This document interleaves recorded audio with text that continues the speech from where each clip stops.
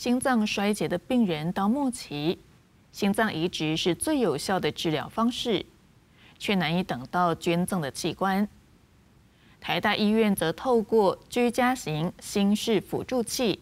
来协助病患，可以暂时代替心脏功能，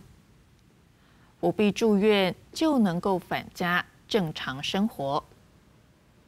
有患者。已经使用了超过十年，病况稳定，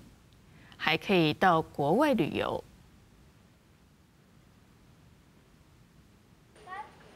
医护人员准备蛋糕为左先生庆祝重生，因为五十多岁的左先生，二零一三年九月时急性心肌炎住院，等待心脏移植，后来因为病程恶化，导致急性心脏衰竭，最后选择自费五百万元安装了居家型心室辅助器，至今将近十一年，不仅病况稳定，还常常到国外旅游，而左先生也成为目前国内使用心室辅助器最久的病人。我听说是有一颗心啊，但是那时候是没办法 match 到我的身体，所以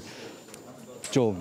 没办法，当时没办法马上移植，所以就就先装这个机器。负责诊治的台大医疗团队表示，造成心脏衰竭原因很多，也不是所有病人都适合心脏移植。如果能暂时使用居家型左心室辅助器，就能让病人有重生机会，不必住院，也能返回社区正常生活。台大医院过去三十年来，累积居家型心室辅助器个案数已经近百人，年龄最小为十岁，其中有二十九人在安装心室辅助器期间接受了心脏移植。而而从二零一八年起，健保也有条件将居家心室辅助器纳入给付。移植